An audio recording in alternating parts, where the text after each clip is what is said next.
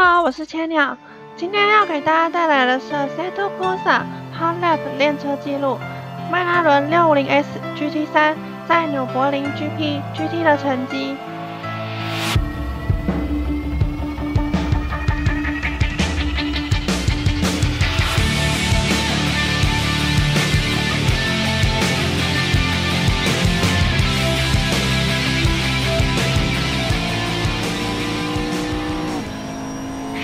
日的比赛，就算最后没有被退赛，我还是很不满意。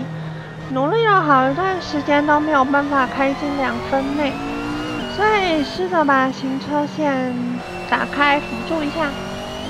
有些地方跟我跑的路线差了不少，果然要综合考虑几个弯再决定行车线，对我来说是有点困难的。